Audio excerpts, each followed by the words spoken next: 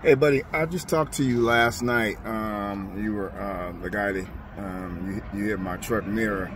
Um, I checked later on, and I, I, don't know why I didn't check then, but my my mirror, my power, my power is not working on my mirror now. My power, my so my mirror is not working.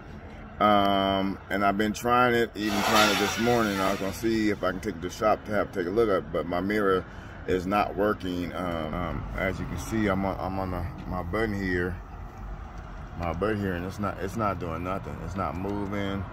It's not moving, and uh, let me see something. It's not moving up or down, left or right. It's not doing anything. So um, I might have to um, have to have. Uh, uh, might have to just give me a whole new mirror assembly because it's not working. So uh, I'll give you, uh, I guess take it to a shop and get a quote and then we'll go from there. So,